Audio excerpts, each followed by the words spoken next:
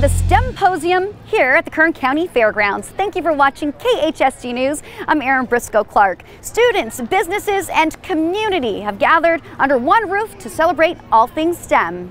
From fossils 20 million years old found in Bakersfield to learning about wind energy, robotics, computer programming, the human body, the Kern County STEMposium was a hands-on opportunity for elementary and middle school students to explore a future in science, technology, engineering, and math fields.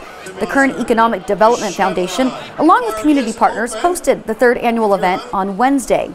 And students from across the Kern High School District set up exhibits where they interacted with the younger students and demonstrated their STEM projects. When you teach something, you learn it inside out. You learn it much better than when it's talked at you. So not only is there a really good chance for uh, us to learn about our own energy sources, but also we get to just seeing the smiles on the kids' faces when we prepare activities for them and everything is just it's just all the worthwhile. This only better helps us get into the science field.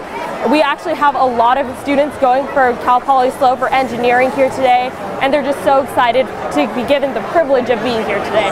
From the STEMposium, Ridgeview High School is headed to the State Science Fair later this month after winning Best High School overall at the County Science Fair. We wish them the best of luck. Now to exploring a career in our courts. Kern High School District students from Project BEST and the BSU got a first-hand look at how our justice system works during the annual Careers in Courts Day. They spent the morning observing court cases in progress and learned more about jury services. In the afternoon, a panel of experts, including attorneys, law enforcement, and a court reporter, spoke about their jobs and answered questions. It was a homecoming celebration for Independence High School graduate and San Francisco 49er DJ Reed. Coming off his rookie season, Reed returned to Independence to share his story of being told in college he wasn't good enough to landing in the NFL. This has just been a process. Uh, that's what I want to tell the kids when I came back. Basically, just to never give up. Like it sounds simple, but if you never give up, you never fail. After the assembly, DJ stuck around to meet the students and take pictures with them. Liberty High students are heading off to spring break on a positive note.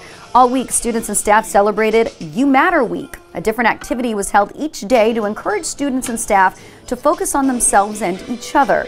A Patriot potluck was held Thursday in the quad where students were inspirited to be present and meet a new friend. That's going to do it for this week's KHSD News. Don't forget to follow us on Twitter at KHSD underscore official and find us online at kernhigh.org. I'm Erin Briscoe Clark. See you next time.